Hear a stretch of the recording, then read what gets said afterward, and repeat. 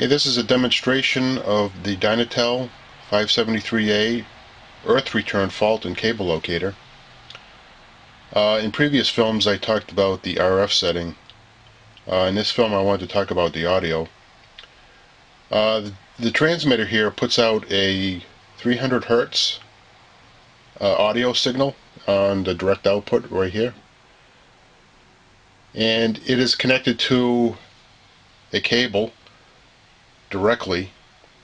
You need to, to connect directly to the leads.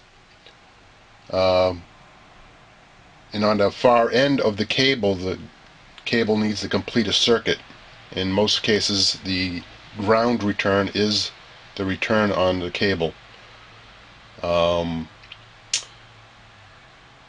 the audio signal is uh, pulsed at 500 hertz and you'll hear that on the receiver.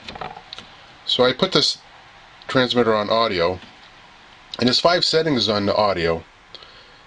And depending on the impedance of your circuit will determine how much signal strength you can get on the cable.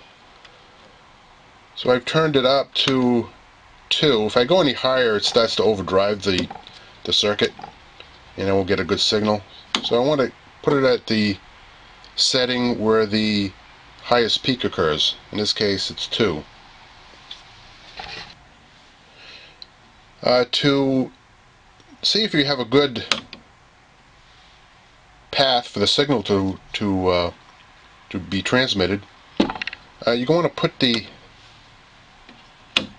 locator in fault. And what you need is to have that needle peg into the fault. That means there's a return path on ground. And uh, it means you can transmit an audio signal. Because the far end is grounded. Now if I turn the switch off while I have this on, right now I can turn the circuit off. And you see that the, the needle will peg to good, meaning I don't have a good circuit to transmit on and uh, I won't be able to trace the cable. So we want to have that on and now I have I'm transmitting an audio signal down the line. Okay, I have the direct output leads connected to this junction box here. Um, I have the red cable connected to hot and I have the return cable connected to neutral.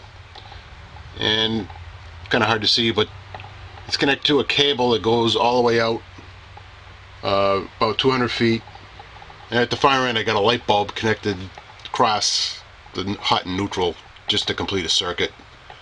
Uh, this way I can, I have a circuit to send the audio signal out and uh, make the cable hot for audio for so I can trace it. Okay, I have the receiver here.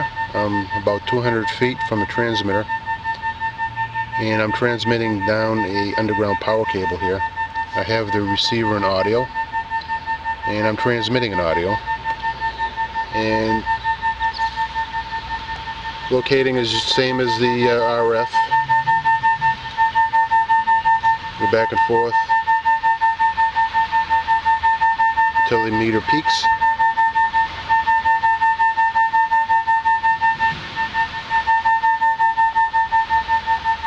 cable right around here.